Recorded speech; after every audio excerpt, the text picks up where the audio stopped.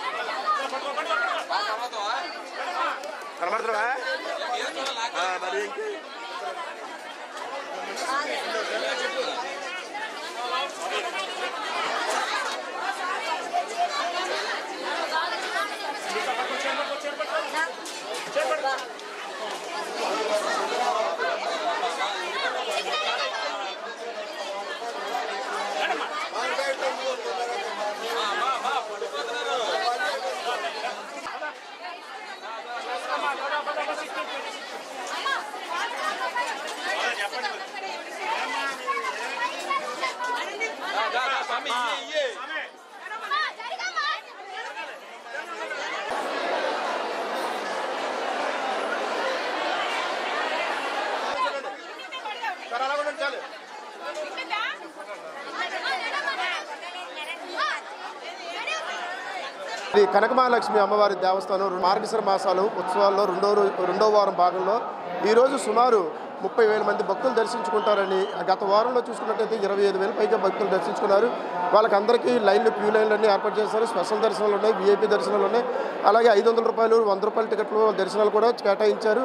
అయితే ఈ ఈ ప్రభుత్వం ద్వారా పోలీస్ శాఖ కానీ ఆ దేవాదాయ శాఖ వాళ్ళు కూడా కూడా అత్యంత బందోబస్తు భక్తులకు సామాన్యులకి కూడా విఐపీలకు కూడా కాస్త దర్శనం అది అవైలబుల్ పెట్టారు దర్శనం అది చేస్తున్నారు అయితే ఇక్కడ చూసుకున్నట్లయితే గత వారంలో చూసుకున్నట్లయితే దానికన్నా భిన్నంగా ఈ వారం మరింత కట్టడితో చేశారు.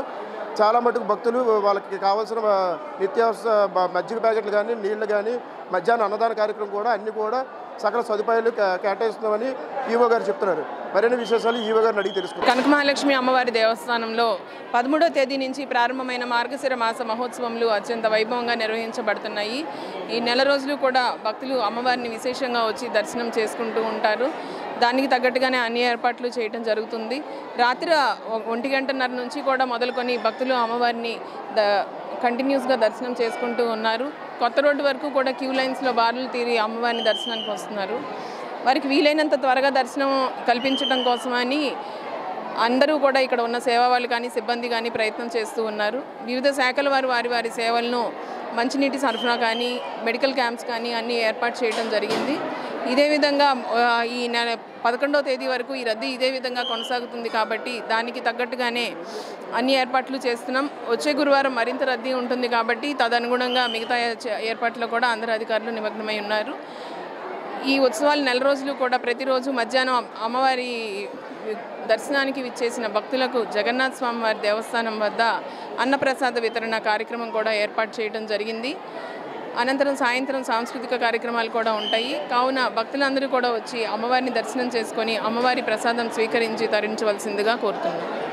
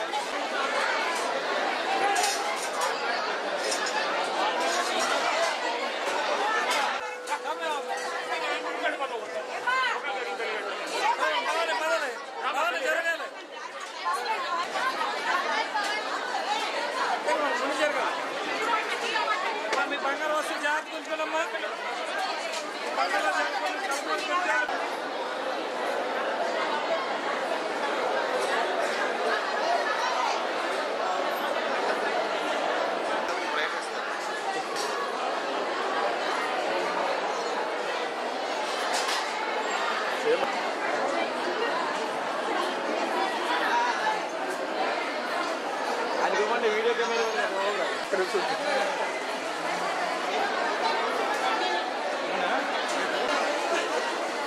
మీరు వాటర్ ఇచ్చేదే మధ్యకి ఇచ్చి భోజనం పెట్టలేదు అంటారు అందరూ అదో బాగా ఇప్పుడు డ్రెస్ బోర్డు